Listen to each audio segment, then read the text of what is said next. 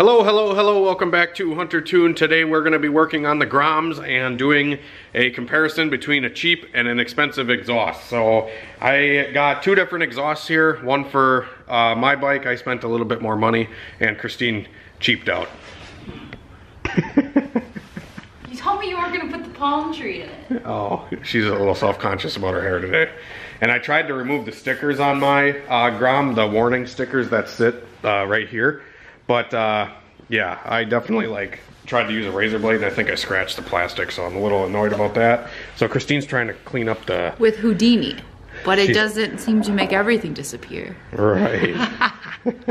so we're trying to make the uh, yeah, just try to make that stuff go away because it's scratched up a little bit. But I do have a Tyga uh, carbon fiber, some Tyga carbon fiber stuff coming for mine too, so it'll probably cover it up anyway. But anyways, um, I'm going to yeah, we're just going to kind of do a comparison of these exhausts, and we also have another video that we'll probably make uh, with the fender eliminator kits and we also got some sprockets. So we're doing a couple little mods. Uh, these are probably the first few mods that anybody's gonna do to their Groms um, right when they first get them is usually exhaust, sprocket, and a fender eliminator. That's kind of the, you know, thing you do right away. But uh, anyways, did kind of want to show you uh, the two different exhausts that we did pick up. Um, so this is the box that mine came in. This is the uh, packaging and stuff. I already, I got way too impatient because I was excited about this exhaust and I yanked, um, yanked it all apart and unboxed it off camera. So I apologize about that. But um, this is the packaging that it came in. Uh, Hindle, this is where the, uh, the muffler was and then the rest of it was packed with the packing paper here um, you know wrapped up and stuff with this packing paper. And then yeah just a ton of packing paper very well packaged um, box.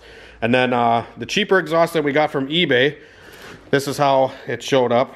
So they had to re rebox it because it broke open.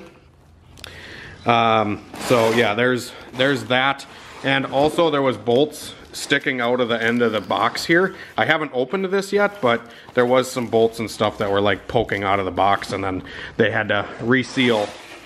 They had to reseal the box because it broke open. So just to, you know, kind of get what you pay for here, even with packaging, it seems. So, uh, yeah, we're gonna open this guy up on camera. Do you want to open it? As long as I'm not in it. Okay. Well, uh, do we need a knife, or are you just gonna manhandle it? I was gonna manhandle. Okay.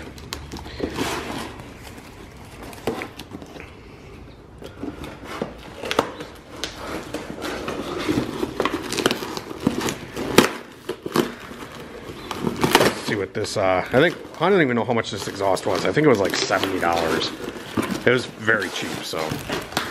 So here we are. This is the exhaust from eBay. Uh, I think it's like the same thing as like the Amazon exhaust. You know, whether you get it on eBay or Amazon, it's pretty much the same same thing. Uh, the the muffler looks nice. Carbon fiber. And then this is the exhaust mount. Looks like oh, for that one. black. That's so much cooler. Oh, my header pipe. We could take your uh, header pipe here and get it coated, but we'll probably just run her for now, eh? Yeah. Okay. I saw a nut fly off over there. So here we are. This is kind of everything that comes with the uh, cheap $70 kit. Uh, the Hindle exhaust was 400 So, I mean, it's four times the price for that guy versus this. So you guys can make your own decision on what you think is worth it and what you don't think is worth it. I do know that the Hindle exhaust is a lot larger diameter tube for the header pipe. Uh, that's what it appears to be from here. This one looks like it's a lot smaller of a header pipe. Uh, but no matter what, freeing up the exhaust in any way, shape, or form compared to the factory one is going to do quite a bit. So, uh, obviously, the cheaper exhaust wasn't really packaged as good, but I mean, it did make it here in a few pieces, and I think it's all here for like the bolts and the mounting hardware and all that kind of stuff. So I think it all it all made its way here. But uh, yeah, we're gonna proceed to installing these and uh, getting the old exhaust off. Um, actually, let's talk about my exhaust and see what that all came with compared to yours. So this one came with like the mounting bracket. Uh, this looks just like a tab for something. I don't know what for. Uh, and then it came with the springs, which hold the muffler to the header pipe. And then it also came with another bracket here to mount it um, onto the bike. So these are just like the little mounting tabs, the springs it came with, and then yeah, just some random hardware. And then mine came with uh, some stickers, a the muffler, the header pipe, obviously. It came with the springs to attach it and a tool to attach the springs because I know the springs are sometimes pretty tough to get installed. So it's kind of nice that they included this little handle tool to install those springs. Then another Hindle sticker under there, under there, and also uh, some 12 month liability warranty and disclaimer thing here and a Hindle muffler break-in procedure. So it just says like run it for 15 minutes, do a heat cycle pretty much, warm up the exhaust and then let it cool down to kind of break in the packing inside the muffler. So yeah, without further ado, we're gonna yank the exhaust off of, I don't know what bike first, but we're gonna yank them off and then compare the sound. All right, so we got both the exhaust kind of laid out side by side. I took a little picture uh, just to kind of, you know, show the, show what comes with each, I suppose. Um, and now Christina's working on getting her uh, exhaust off. And uh, yeah, just had to take out a bolt right here. There was a nut on the back side that kind of tricked you, didn't it? Yep. so I had to get a 12 mil wrench and a 12 mil socket and take that bolt and nut combination off. And now it's sitting over here. So this is what the bolt looks like. It just comes off and then, yeah, now, yeah, it's still pretty solid. What else we gotta take off? Ooh, I spy it. Do you spy it? That one. Oh, good job. Is it just a threaded hole? Mm-hmm. Just just crank on it and see if it comes out. How does one do this? And stick the stick the ratchet in the hole and get her on the bolt, you know. There you go.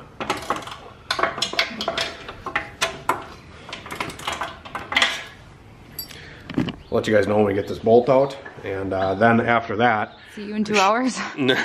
we should be able to just take off the manifold studs right here that connect the rest of the exhaust to the cylinder head. So you got that bolt down in there, this one, and then the two on the head. We'll catch up with you in a minute. Oh, is that right? How come he was so loose? Yeah, they forgot to tighten the bolts in the Honda factory. I'll help you support the back of it. That's so of you. So there was actually another bolt on the opposite side on the, I think it's a catalytic converter. There we go. So there we are, big old freaking bulky thing. Huh? So there was actually a bolt on both sides. There was one right here and then one on this side too. So had to take both of those out, one right here and then two on the engine itself. So now we're gonna put the new one on. Uh, okay, so we got the exhaust on. We skipped ahead a few steps uh, just because uh, the stuff's pretty self-explanatory. You put the header pipe on. The only thing that was kind of confusing to me was getting the exhaust to like go up into the cylinder head. I figured there would have been a gasket or something around there, but pretty much all the exhaust has is it just like seats the face of it into the head and this uh, flange just kind of holds it up tight to the head and believe it or not it doesn't leak so um, I know when you put some you know more more beef in the motor you got some more air flowing through it um, there probably would be an exhaust leak that's why people like grandfathers make uh, exhaust donut that goes around that so it has pretty much double the sealing power. Um, but anyways for a fairly stock bike it shouldn't really need it and it's not leaking at all right now. So pretty much what we did is we just took the see i'm really bad at filming stuff like As you're doing it? as i'm doing it but when i'm done doing it i can explain it pretty good. That's kind of what the what i've done this whole time on this channel but trying to get better it's just i always get ahead of myself and i'm like i'll just do it quick you know yeah I know. i'm a really bad teacher too You like, I didn't have gotta- to put the little springy guys on. yeah, the springy guys are dangerous, so I didn't want you to get hurt. that Because it, yes, it is actually legit. Because if you, if this little tool, if we didn't have this little hook tool from the Hindle exhaust to put your springs on, we would have had to use a pliers or a screwdriver. And if that thing would have came winging off, it would hurt. If it hit you in the face or your beautiful eyes or anything like that, you know. I'm just looking out for your safety, you know. So, anyways, just took the hook here. Well, like I said, we bolted the header pipe up, and then the muffler just kind of slid over it, and we took the springs and kind of just hooked it together here, and then we kind of maneuvered the muffler around until we could get this little band clamp around it, and then it comes with this little black, um, you know, rubberized stuff to uh, so you don't scratch the muffler. So we had to put that on there, work it around onto the band clamp here, and then compress it together and then shove the bolt and nut and tighten it down. Um, what I did notice is this fitment on this header pipe isn't that great. I actually had to tug down on the exhaust to get it to line up, but now that it's bolted up, I think she'll be good and definitely sounds a little bit different. So this actually has a removable baffle and the baffle is currently still installed. So why don't you start it up and we'll see how it sounds. How would I hold the Oh, camera? all right. Me start. All right. So let's go over to my bike actually because we didn't really do a beforehand what the bike sounds like stock. So this is what the bike sounds like stock. If you guys watched the dyno video, you probably heard it or didn't hear it because it's so quiet. So that's what the stock exhaust sounds like. Pretty much a vacuum cleaner. And then this is this uh, eBay exhaust, or you know the 70. I think it was like 68 bucks. I should actually look and see how much the price was, but it was like under 100 bucks.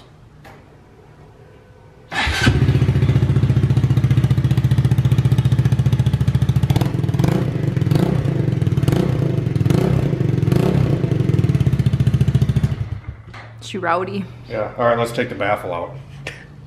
You're not gonna run it with the baffle, are you? I don't even know what that means. Okay, well, I'll show you here. So there's actually a little rubber cap on the bottom. And then what looks to be an Allen head. So we grab a Allen wrench, probably like a four, three, four mil.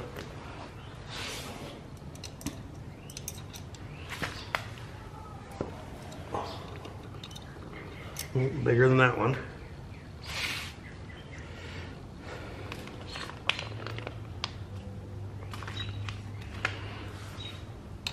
Try to get this here and unscrew this little bolt. Mm, And then this comes out. And now we have the bolt that's stuck. How am I supposed to get that out? A magnet? I don't have a magnet. Dang it. Let me grab something.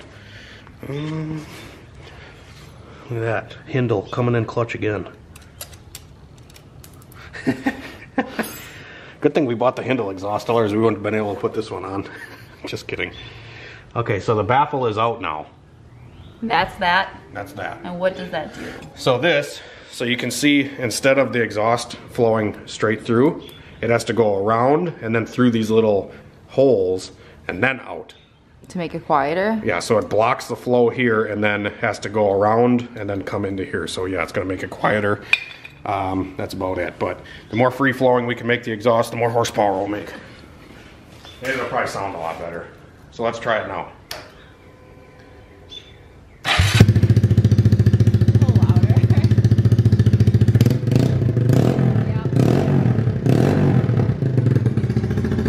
Sorry, Barbara.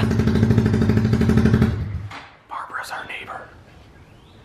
Accidentally hit her fence. He did. It was bad. But she likes us, I think. I hope she likes us. Barbara, if you're watching, I hope you like us. Shout out to Barb. It sounds pretty good though.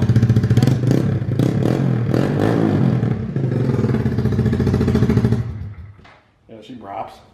I'm down with that. Look at all that.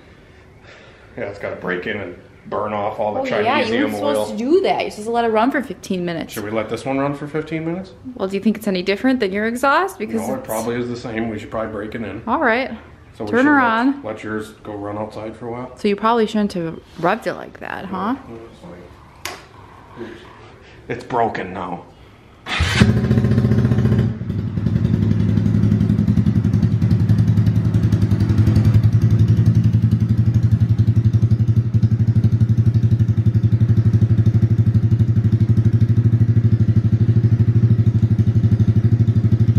All right, well, we're gonna clean our mess up and then, uh, and then move Oh. on to doing the, uh, the Hindle exhaust on mine. She's already ready to ride. So, Uh, we're just taking it around the block a time or two and uh, gonna come back and let it uh, cool all the way off so we can kind of break in the baffle a little bit on the exhaust. But yeah, Christine's gonna go take her for a little rip around the block. I already did.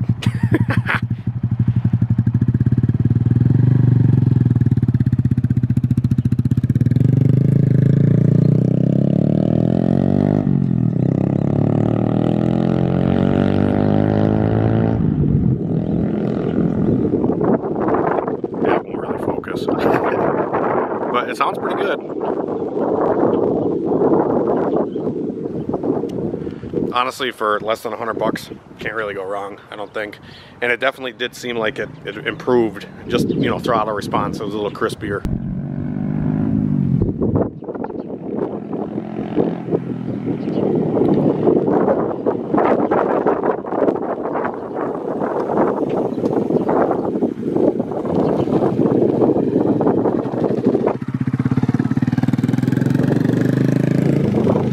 We definitely got to do something about our driveway. Got to get some gravel in here, or uh, I was thinking about doing concrete or asphalt, but man, shit ain't cheap. What do you think? I really like it. I think it does a lot. You think it helps? I really do, actually. It could just be placebo Probably. because it's louder. Sounds like it's doing more. Yeah. It doesn't. You think it don't feel like it does a little more? No. Does it do a little more? You think? Like like power it really. Yeah. All right. Well, moving on. We're gonna put the Hindle exhaust on next. So yeah, pretty much same procedure. I'm probably not gonna go through a whole lot because this one's pretty simple. The only difference with the Hindle exhaust is uh, it came with the spring tool, and that this uh, exhaust actually has an, a spot for an O2 sensor where that one does not. So we can add a wideband to this. And the rest of the difference really is just that this header pipe is a lot larger, and I feel like this exhaust is going to be louder because of that. So we'll find out and definitely kind of compare the two and see what one's going to be a little noisier or what one sounds better. I don't know. We'll find out. I'm a bit chilly now. And then afterwards, we're, I'm gonna, I would like to put the green bike back on the dyno and see if it gained any power from just putting the exhaust on. I like the way it sounds a lot. Another thing is this uh, exhaust actually has the bracket built in, so you don't have to have that clamp around it. This is actually like welded onto the muffler itself, so that's a nice little feature, I suppose. All right, so now we're gonna put the Hindle on. I don't know where I left off. I think I already said this. More editing for you? Yeah. Got a little sidetracked. My buddy Nick actually stopped over. A guy I used to Grom with. He still has his original Grom that we used to go riding. Um, he never sold his, so now I just got to get my bike back up and fighting shape so we can all go riding, and I'm excited about that. So, anyways, uh, the cheap eBay exhaust, I like it. Seems like it's uh, working pretty good. But now we're gonna throw the Hindle on. Uh, did you want to do it or should I? Am I too slow for you? No, you're not too slow.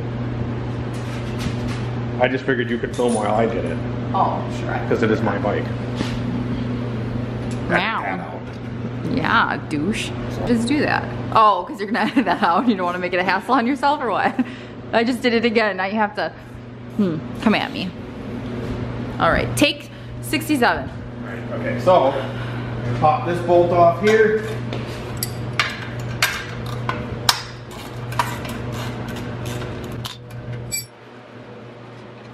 Don't lose your nuts, kids.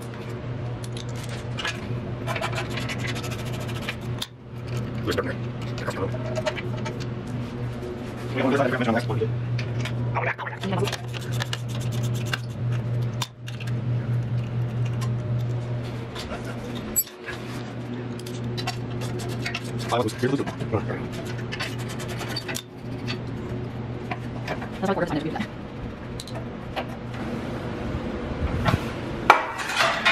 Okay, so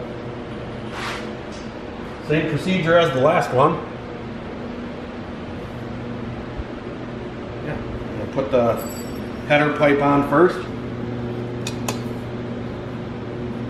I don't know if that's got to go that way or that way don't know what this little tab is for. Did yours have that? Nope. I don't think it really matters.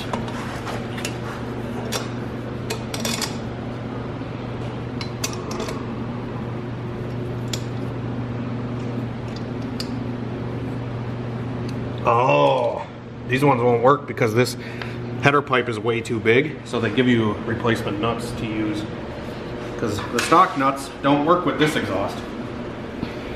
Oh, my back. Ow. Are we, are we editing that out or no? Uh, make everybody feel bad for me. They're gonna be like, why are you doing anything? You should be resting. Right? Is that what I should do? Um, I think it's good for you to stretch her out. So these are the replacement nuts instead of the stock ones there that aren't gonna work.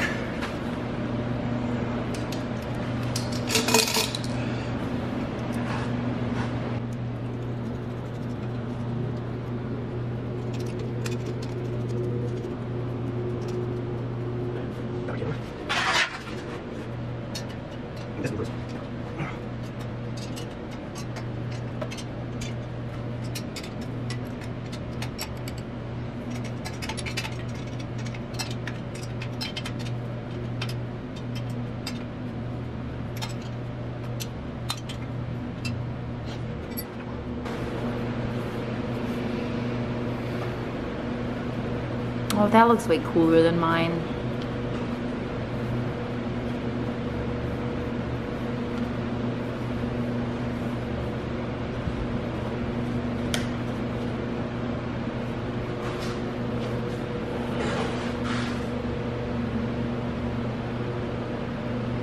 That's annoying. Oh. I just slid it on and all that freaking coating came off right away. Do you need me to get something for you, Grandpa?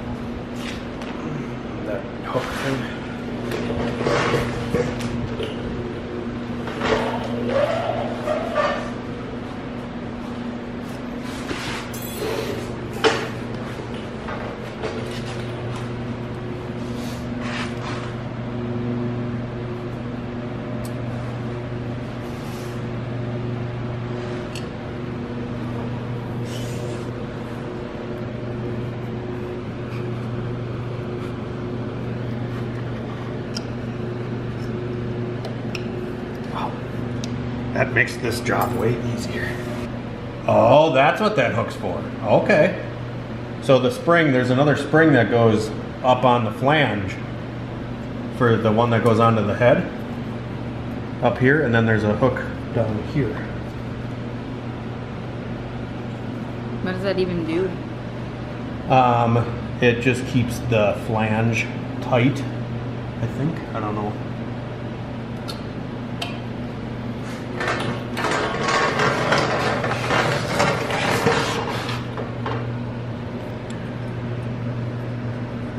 Yeah, I don't know. What do you think? Mm-hmm. Do you think that's where that goes? Yeah.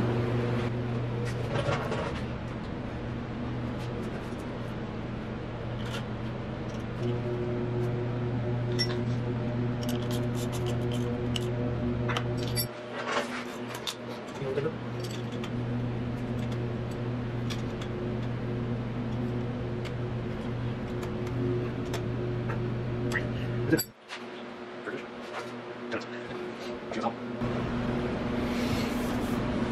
right, so we just got the Hindle exhaust all bolted up. Everything went good. There's just a, the only difference is the spring on the front here goes from the flange on the header pipe onto the actual header pipe.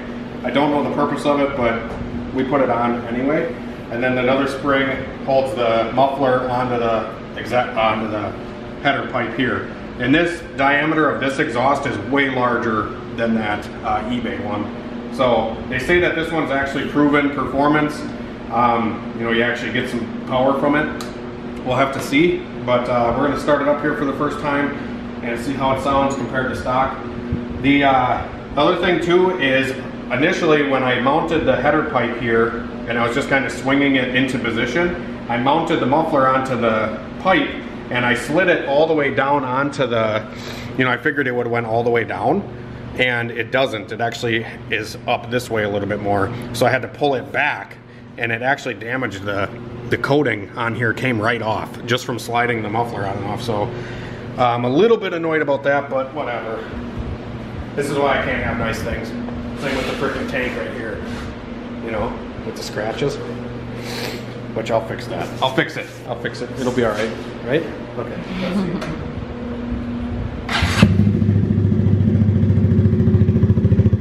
I gotta break it in. Should probably open Way deeper. that. Compared to mine or the original? Uh, I think this is deeper sounding than the one you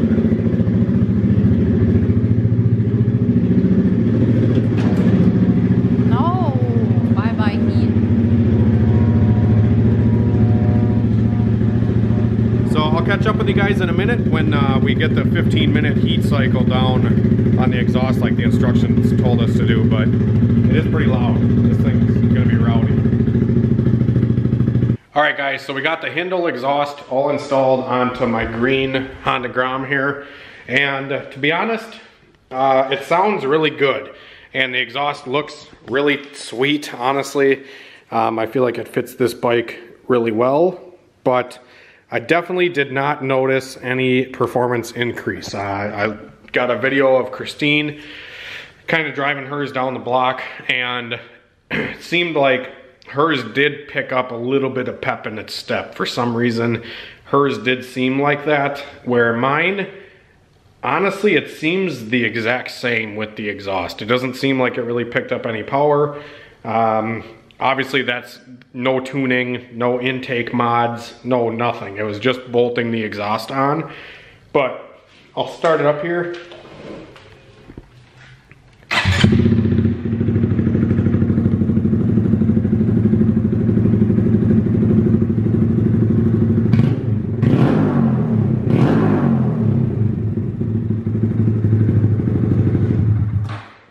So it sounds really good, but like I said, I do not think this exhaust gave me any butt dyno performance. I took both bikes down a stretch right up uh, the street from my house. There's like a mile and a half stretch of industrial road that uh, I just gave these things all they had. Third, fourth gear, whatever, ran them all the way out. And the green bike with the completely bone stock, I got about 55, 56 mile an hour out of, you know, kind of tucking on the same road with no wind. And with the exhaust, I got the exact same. I didn't really gain any top speed. I don't feel any, you know, difference really just kind of, you know, throating on it. And yeah, like I said, I don't think the exhaust really benefited this bike that much. Um, it could be just because it's a little cold out tonight and maybe the bike is running a little leaner. So, especially with the exhaust, I didn't really give it any time to relearn with the new exhaust or anything like that. So, like I said, it could be just because the bike has to relearn a little bit and I got to ride it a little bit or just needs a little tuning. On the other hand, the blue bike, Christine's, definitely seemed like it just, I don't know, it just seems like it's got a little bit more grunt for some reason. Um, and this is the cheap exhaust. This is the Amazon $80 special, eBay, whatever. And to be honest, this one sounds really good. Um, I don't think I have any gripes with it.